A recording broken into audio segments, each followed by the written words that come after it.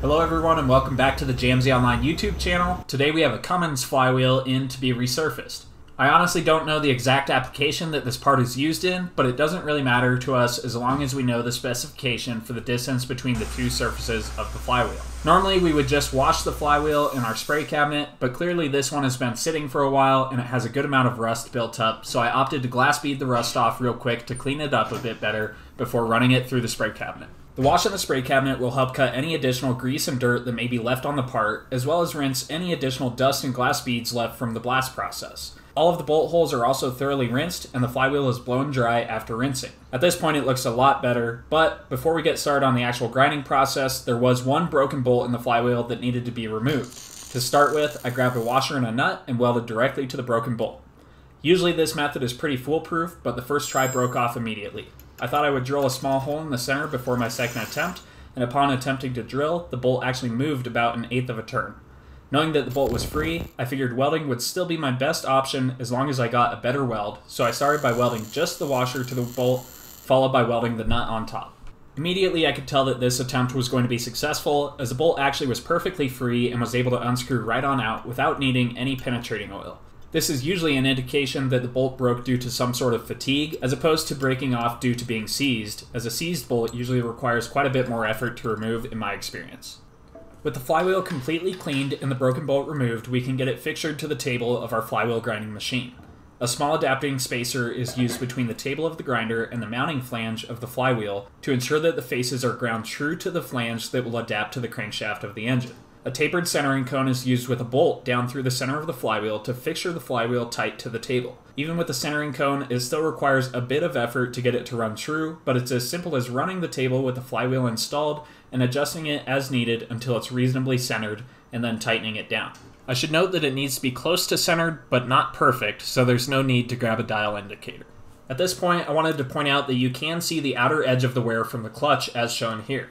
It's critical to make sure that we grind the face past this point, but it's not necessary to get clear out to the very corner of the flywheel. Also, we can see that this flywheel has been reground at least once before, as you can see the radius from the factory grinding stone in the very corner of the flywheel, and then we also see a much tighter radius a bit further in, from the flywheel having been resurfaced at least once before it arrived at our shop. Our CBN grinding abrasive is tapered and will actually reach well outside the clutch wear surface without removing the pins around the circumference of the flywheel, as long as we have the flywheel centered well and can get the stone right up close to them with a small amount of clearance.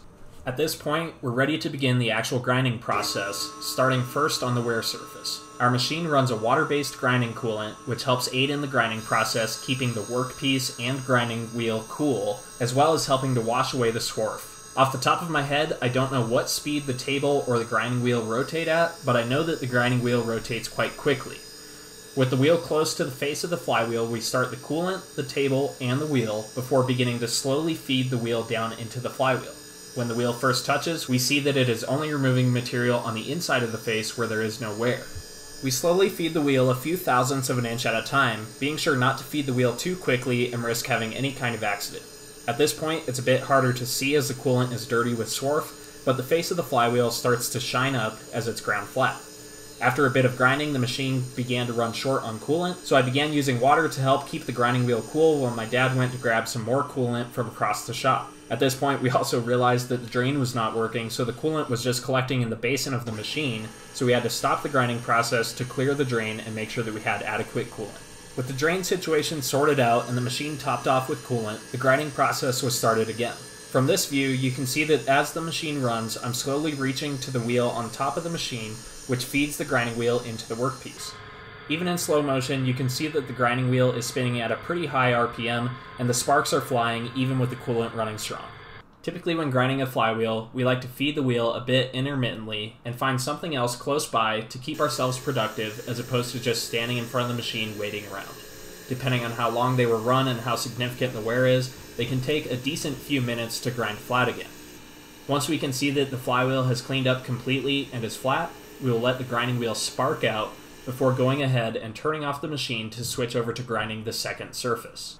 The machine does have a power feed to raise and lower the column, but unfortunately ours needs a bit of work, so we have to help it along with the manual feed wheel in order to raise the grinding wheel. At this point, we're going to reposition the grinding wheel over the upper step of the flywheel and begin the grinding process on this surface. This surface is not going to have the wear on it as the lower surface of the flywheel did from the clutch, but an equal amount of material must be removed in order to get the two steps the correct specified distance from each other. As such, I like to begin by taking a bit of material off of the upper surface to ensure that it is indeed flat and true before measuring our step to get an exact measurement of how much more material needs to be removed. You can also see how this machine can be pretty messy, and as such, we keep it in the teardown area of the machine shop. If a guy had more free time, he could probably make some better splash shields to use on the taller flywheels such as this, but we just don't seem to have very much free time. The guys who have been around a while will know that the specification between the steps is going to be 2.937 inches right off the top of their head, but I went ahead and printed the specification sheet to show in the video, and we can see that the spec is allowed to be from 2.932 inches to 2.942 inches, giving us a tolerance range of 10 thousandths of an inch. An easy way to make this measurement is to take a precision ground straight edge and lay it across the top of the flywheel. With our caliper zeroed to the width of the straight edge, we can then make our depth measurement from the top of the straight edge to the bottom surface of the flywheel. This type of measurement is one of those things that looks complicated, but with a bit of practice can produce very accurate and repeatable measurements. By taking note of our measurement and doing a bit of quick math to the middle of our specified tolerance, we will know the exact amount of material that needs to be removed from the top step. While the machine does have a scale that is supposed to show increments of one thousandth of an inch, I still prefer to sneak up on it so that we don't overshoot the dimension. Even if we did overshoot the dimension, it wouldn't be the end of the world, but it would add a bit of work as we would be forced to move the grinding wheel back to the lower face again and take additional material there. While this entire process may look and sound a bit complicated, it's actually one of the more simple machining processes that we provide here in our shop. Single surface flywheels are obviously much easier, but even a dual surface flywheel as shown here can be fairly profitable, especially when the machine was paid for literal decades ago. Once we have the flywheel dimension set to the specified tolerance, there's really only a couple of additional steps in the process. To begin with, we'll use a spray nozzle to rinse the flywheel and the machine clean of any remaining swarf.